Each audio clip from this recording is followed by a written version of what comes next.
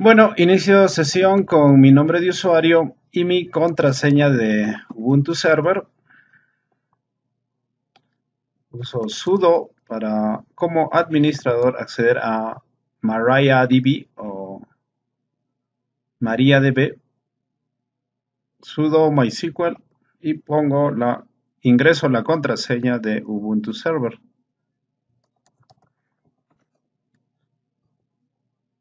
Ya estoy dentro de MariaDB. Eh, voy a mostrar las bases de datos. Show Databases.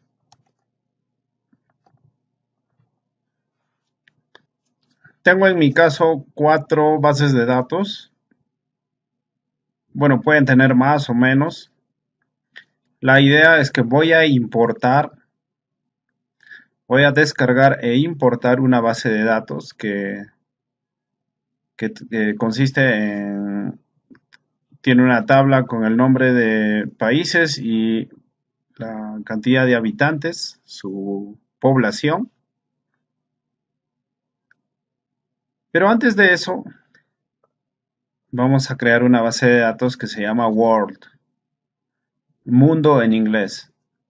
Ok, vamos a create database. Este es el nombre, world, World. Pueden elegir el nombre que quieran. Pero en mi caso, este será el nombre de mi base de datos. Si usan el mismo nombre, mejor. enter. Eh, y revisan de nuevo Show Databases tienen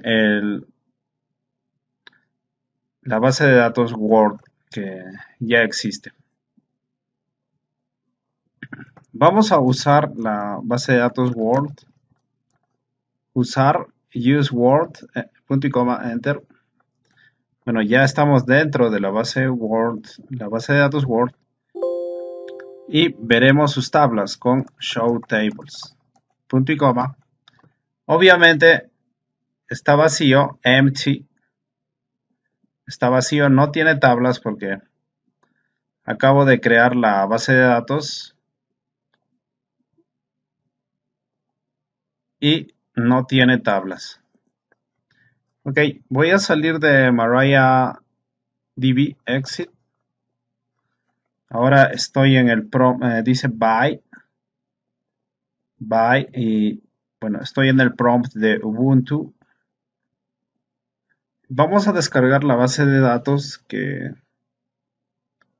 que yo tengo. Y vamos a descargar el archivo. Eh, es una base de datos que vamos a descargar. Les dije que era una base de datos de los nombres de los países del mundo con su respectiva cantidad de habitantes, con su población. Bueno, son como 200 países, entonces para no insertar las 200, eh, los 200 registros o 200 filas, mm, es más fácil eh, importar esa base de datos y, eh,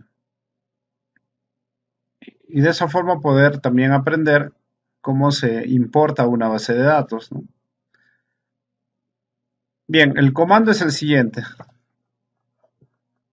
wget o, eh, o wget.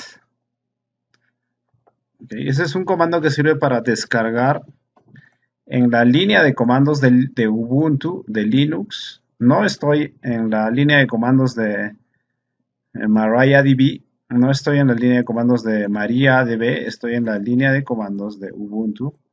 Y este comando se usa para descargar archivos de sitios web. Y el sitio es el siguiente. La dirección es http dos puntos slash slash la dirección. Esta es la dirección IP obviamente en internet.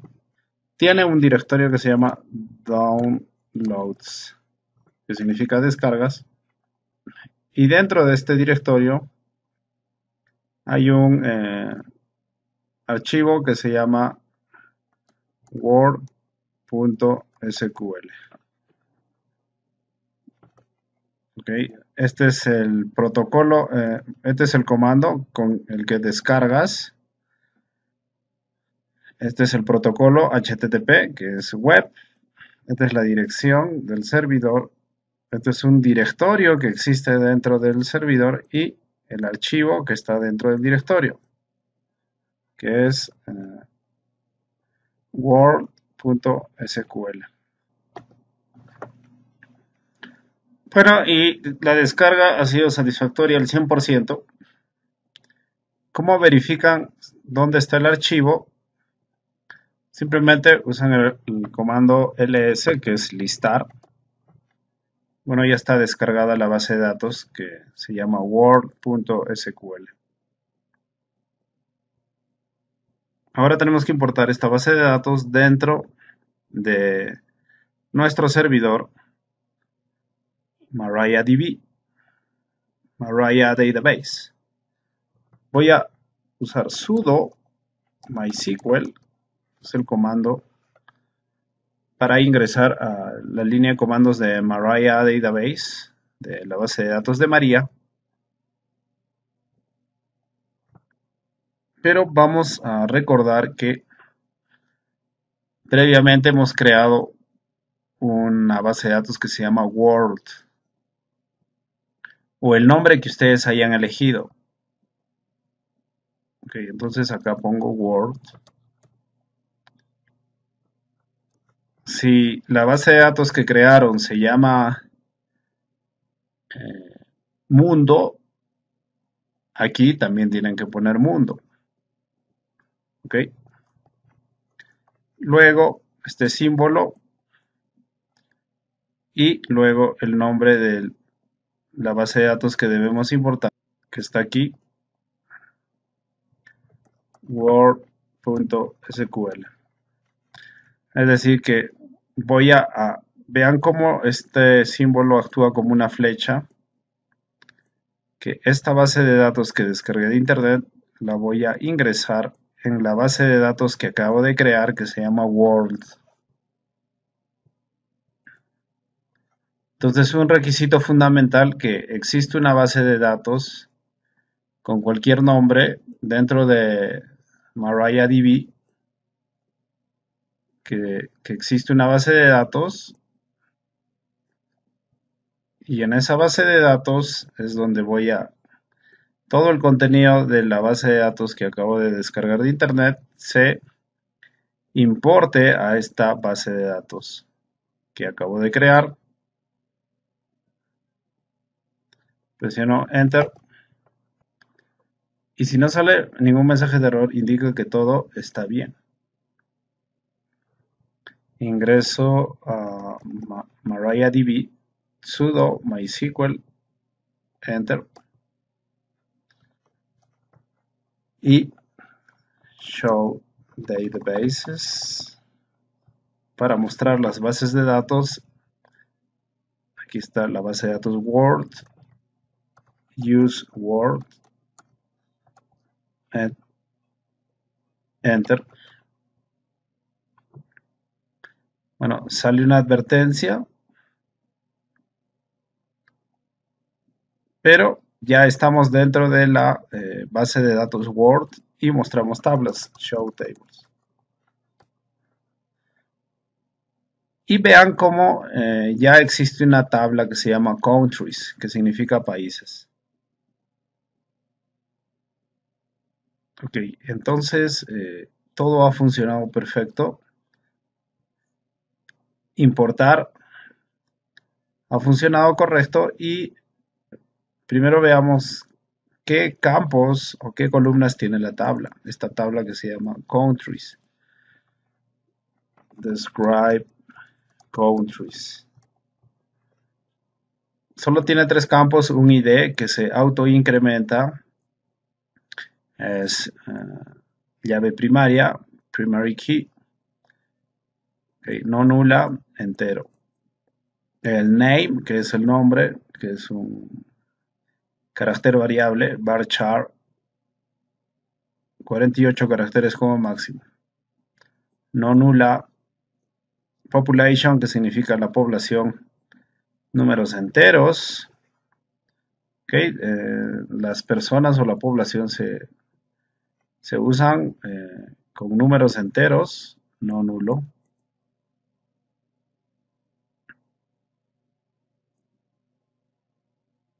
Bien, ahora veamos los registros o filas usando el comando select. Seleccionar todos los contenidos que signifique el asterisco, este carácter select, todos los campos, todas las columnas, from, seleccionar todo de, la tabla se llama countries. Punto Enter y pueden ver que hay 200 eh, países con su respectiva población. Bueno, aquí está Perú con 32 millones, casi a 33 millones. Está, por ejemplo, Cuba con 11 millones.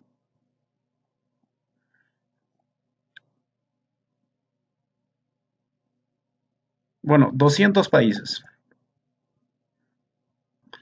Bien, entonces vamos a practicar una variable que vamos a nombrar los campos. En vez de usar el carácter asterisco o ese carácter que nos indica que muestre todos los campos, vamos a especificar los campos. Recuerdan que los campos se llaman eh, ID, Name, and Population select ID, comma, name, comma, population. Ok. Seleccionar ID, name, population de la tabla countries. Enter. Bueno, el resultado es el mismo, pero si deseo simplemente mostrar el nombre y la población solamente select name, population from countries. Y solo tendrán los dos campos solicitados, el nombre y la población. Y si quiero solo los nombres, select name from countries. Y solo muestra los nombres.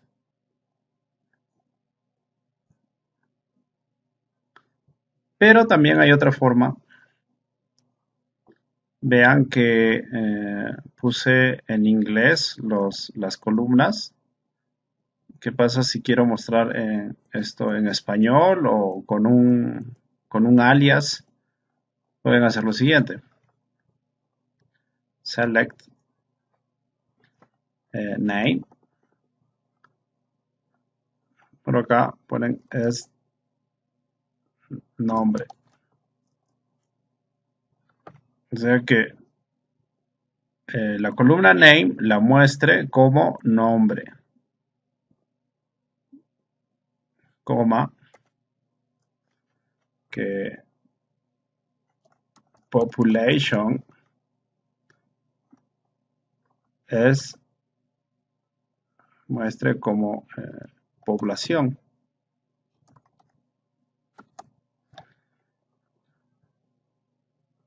From countries, de la tabla countries. Que name se va a mostrar como nombre y population se va a mostrar como población. Enter. Pueden ver aquí que se muestra nombre y población. Ok. Eh, también podemos eh, seleccionar eh, select name y population. Seleccionar nombre y población. Seleccionar solo el campo nombre y el campo población de la tabla countries. Pero podemos aumentar algo order by name. Okay. Recuerden que hay un campo que se llama, eh, una columna que se llama name, que es nombre. Seleccionar esa columna, también la columna de population, que es la población, from desde la tabla countries y ordenarlo por name, y name es nombre, ordenarlo por nombre. Punto y coma, enter. Y pueden ver que los nombres están ordenados por el, eh, en alfabéticamente, es decir, por el nombre, desde la A hasta la Z. Pero también pueden eh, ordenarlo por por población. Pero también pueden ordenarlo por population, por la población.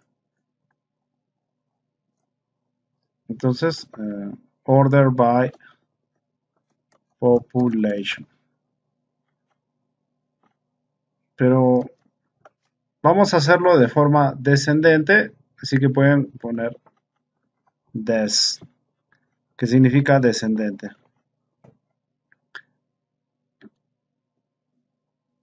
Seleccionar Name Population de la tabla Countries, ordenar por población de forma descendente. Enter. Y vean cómo de mayor a menor se ordena de forma descendente. Pero si quieren de forma ascendente, simplemente ASC pueden ver cómo de menor asciende hasta el mayor número.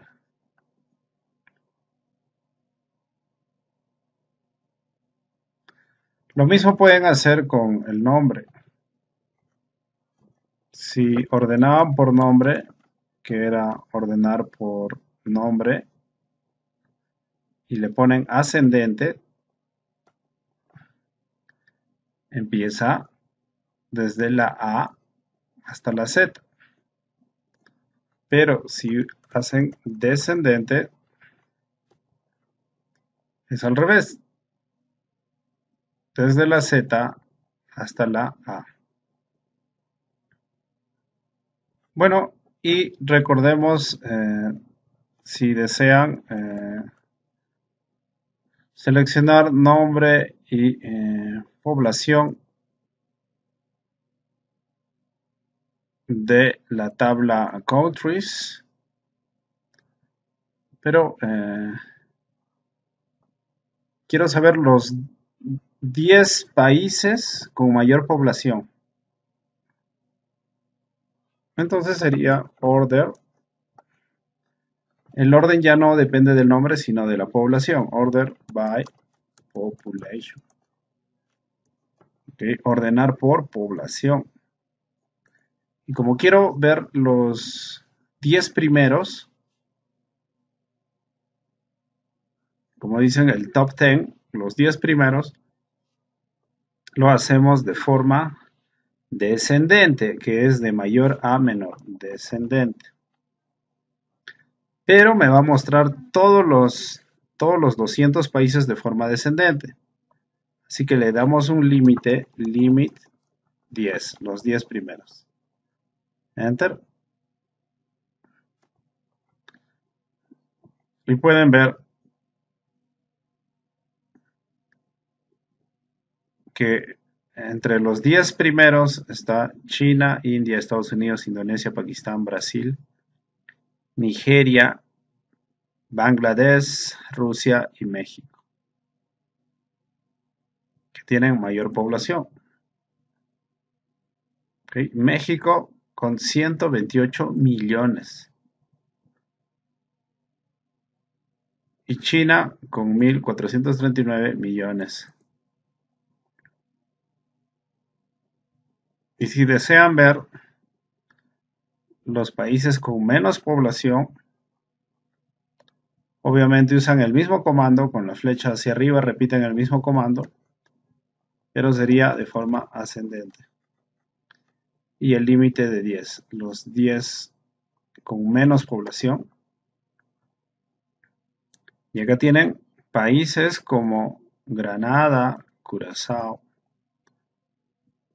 Antigua y Barbuda que tienen eh, Antigua y Barbuda tiene solamente 97 mil, casi 98 mil habitantes. Mucho menos que en una ciudad en algunos otros países, pero son países que tienen pocos habitantes. Por ejemplo, voy a repetir el comando anterior y vamos a ver aquí. Seleccionar nombre y población, name, population, from countries de la tabla países o countries. Pero solo voy a mostrar las que tengan una población mayor a 100 millones. Solo los que tengan una población mayor a 100 millones. Entonces se usa el comando where. Where significa dónde y se refiere a la columna población, population, population, donde la población es eh, mayor, mayor a 100 millones. 100 y 6 ceros. 1, 2, 3, 4, 5, 6. Seleccionar la columna Name Population de la tabla Countries, donde la población es mayor a 100 millones. Enter. Y acá pueden ver, Egipto tiene 102 millones. Y ahí están todos los demás. Pero ¿qué pasa si eh, bueno, esto se ha mostrado de, forma descendente, pero ¿qué pasa si quiero mostrarlo de forma ascendente? Repiten el mismo comando, where population mayor a 100 millones, y pueden agregar order, order by, ordenar por eh, population, de forma ascendente. Enter. Te sigue mostrando los países que tienen más de 100 millones, pero lo ordena de forma ascendente. ¿Ok? Porque le puse ordenar por población de forma ascendente. De menor a mayor. Pero si quiero ordenarlo por el nombre, repiten el mismo comando, population mayor a 100 millones, ordenar por nombre sería name de forma ascendente. Te sigue mostrando las, mm, los países con más de 100 millones de habitantes, pero ordenó los eh, nombres en orden alfabético. Y lo hizo de forma ascendente. Pero podemos modificar, repetimos el comando anterior habíamos indicado aquí que es where, es donde population, la población es mayor a 100 millones. Pero voy a, quitar order. ¿Qué pasa si quiero mostrar los países que tienen eh, más de 100 millones, pero menos de 200 eh, millones? que estén en ese intervalo entre 100 millones y 200 millones. Entonces, donde la población es mayor a 100 millones y, y en inglés es and y population es menor menor a 200 millones. 200 y 6 ceros. 1, 2, 3, 4, 5, 6. Ok, mostrar eh, los nombres y la población de eh, la tabla países donde la columna population es mayor a 100 millones y al mismo tiempo menor a 200 millones. Enter. Y te muestra solo esos países.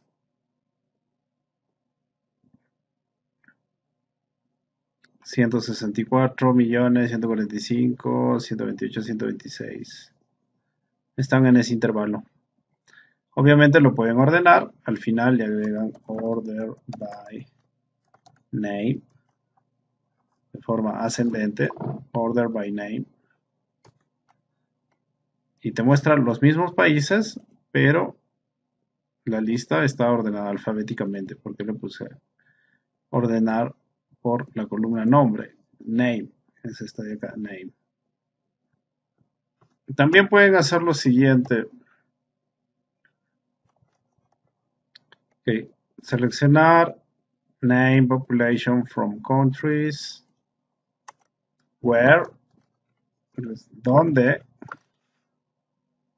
name el nombre like es como donde el nombre es como es como eh, entre apóstrofes o entre comillas, pueden usar comillas o apóstrofes. Yo uso apóstrofes, sea con, eh, con co, que tenga co. Y le agregan acá el símbolo de porcentaje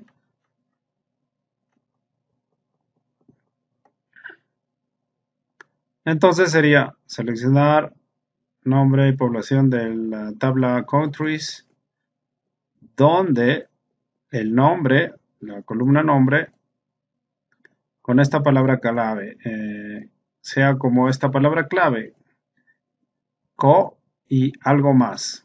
El porcentaje te diría, te indicaría que sigue algo más, no importa qué, pero que empiece con CO y algo más.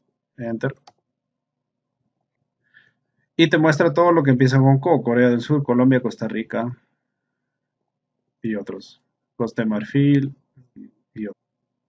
Repetimos el comando y el ejercicio hacemos que en el inicio sea el porcentaje para que indique cualquier carácter al inicio, pero que termine en IA. Que termine en IA que al inicio sea cualquier carácter, pero que termine en IA. Presionamos Enter. Y, por ejemplo, India, Indonesia, Nigeria, todos los países que terminan en IA. Obviamente, aquí podemos ordenar Order by Name, ordenar por nombre. Si quieren descendente o ascendente, Enter. y todos los que acaban en IA, pero ordenados alfabéticamente, por nombre. Ahora, también para ver el ejercicio, pueden ser eh, where name, like, puede ser ER y porcentaje. Porcentaje, ER y porcentaje. Es decir, que ER esté en el medio que al inicio hayan caracteres, eh, en el medio y al final hayan caracteres. Presionan Enter. Por ejemplo, Nigeria tiene ER, Perú también tiene ER, Camerún. Hay un país que se llama Níger, que ER está al final, pero también lo incluye. Azerbaiyán, Serbia, y también pueden elegir lo siguiente, eh, subguión, por ejemplo, A.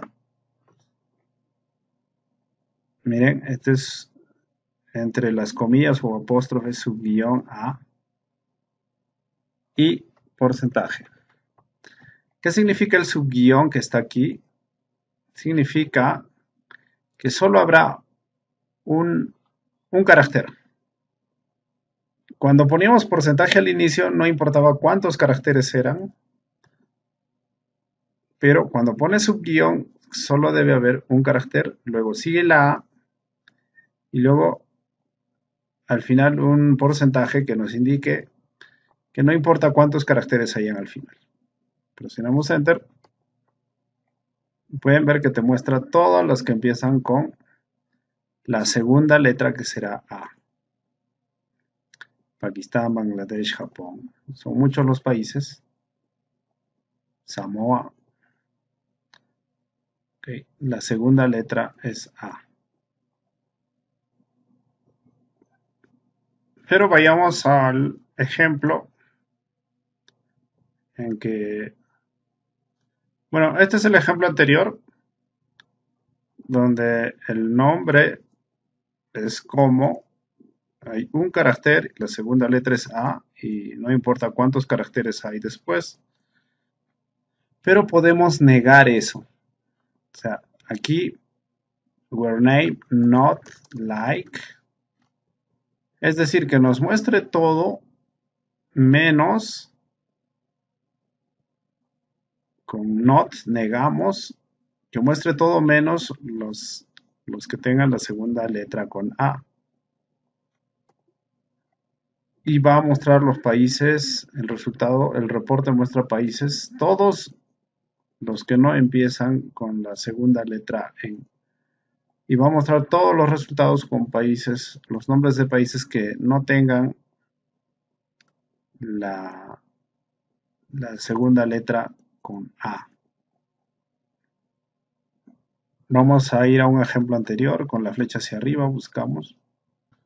Recuerden este ejemplo anterior en que el nombre es empieza en co y no importa que siga, pero que empiece en co y lo negamos name, not, like, que no sea como, que empiece en co, enter, y muestra todos los países que su nombre no sea o no inicie en co.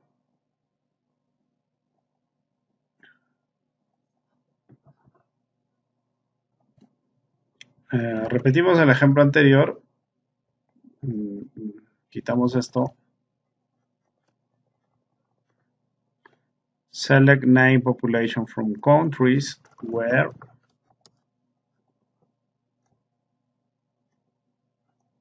where quiero mostrar todos los países que su nombre empiece con co y también que los países que su nombre empiece con p. Where name like que empiece con co Y también ustedes saben que la suma es la operación lógica OR o, o name like entre apóstrofes que su nombre empiece con P. Donde el nombre sea como que empiece en co o que significa que también, o sumar esto, adicionar esto, que eh, el nombre empiece con P. Enter. Y te muestra todos los países que empiezan con CO y con P. Pero solo hay un país que empieza con P, que es Perú. Así que podemos, para mostrar más, podemos poner aquí... Eh, los nombres que empiecen con F y también los nombres que empiecen con F y también que empiecen con P.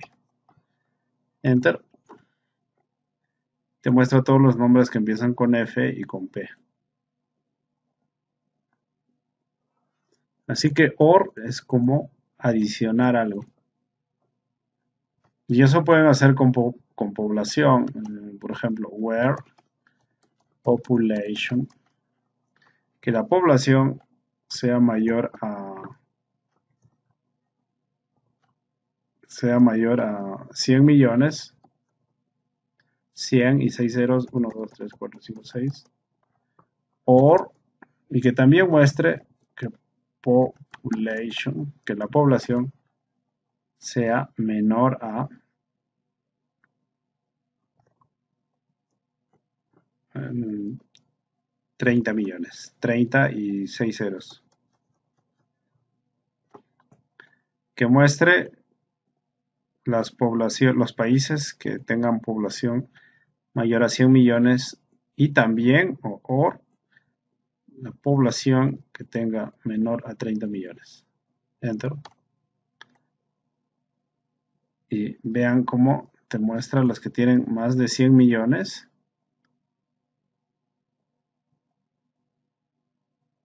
$300 millones, 273 millones, 220 millones.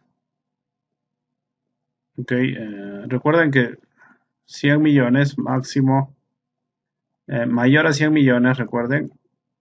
Y bueno, llega hasta 102 millones. Pero también muestra las que tienen menos de 30 millones. Y está aquí. 29 millones, 29, 28 y así.